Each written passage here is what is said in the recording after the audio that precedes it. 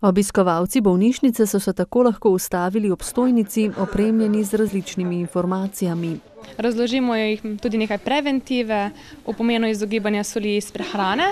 Um, imamo tudi možnost, uh, da si izmerijo krvni pritisk, krvni tlak.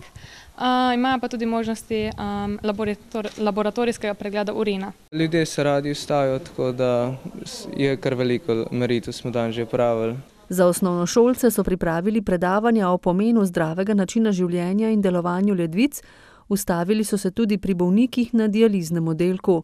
Eden od njih je tudi Slavko Majkič, ki z dializo živi zadnja tri leta. Trikrat tedensko tako na oddelku preživi dobre štiri ure. Privadi se, ni druge.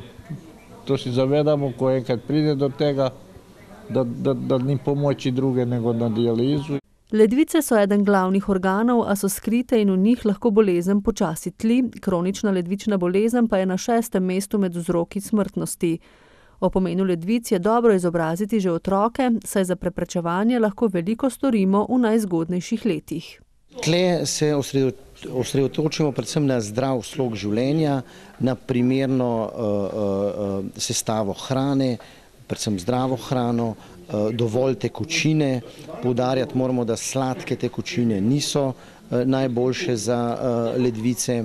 V novomeški bolnišnici sicer ta čas dializo obiskuje nekaj več kot 90 bolnikov, številka pa je ena večjih v zadnjem obdobju.